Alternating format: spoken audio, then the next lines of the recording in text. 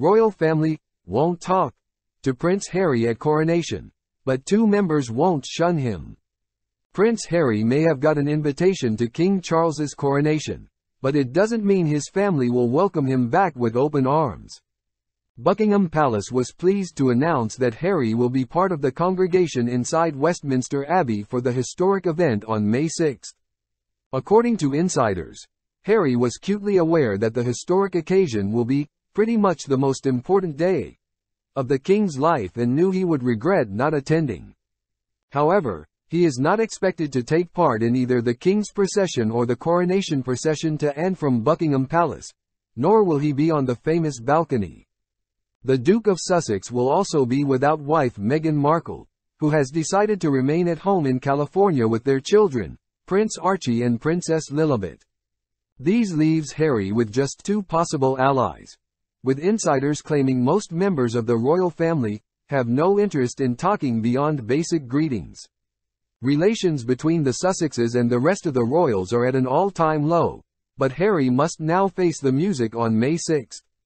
In Harry's book Spare, he wrote warmly of his relationship with his pa, and later told ITV he would always love his father.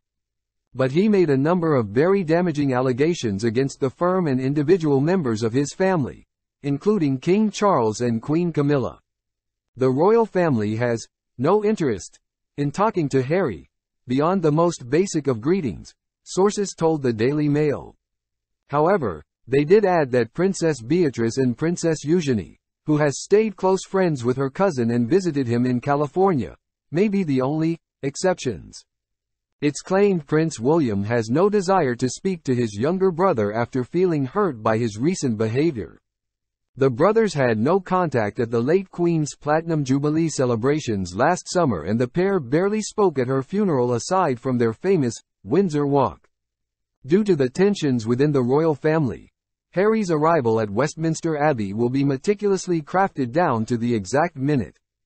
Harry and William will reportedly be separated and sat several rows away from each other, with organizers keen to make sure there aren't any public rows on the big day. The princes will be sat so far apart that cameras will not be able to get a direct shot of the pair together, according to the Daily Express.